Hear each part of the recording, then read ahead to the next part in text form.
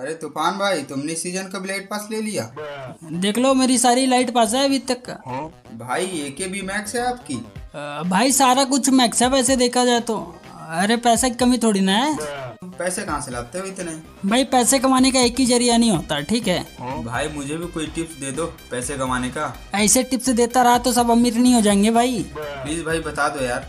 हाँ बता तो दूँगा तुम तो दोस्त हो बट अगर और किसी को पता चली तो? अरे भाई मम्मी कसम किसी को नहीं बताऊँगा भाई। लेकिन हाँ पैसा आने के बाद मुझे भूलना नहीं।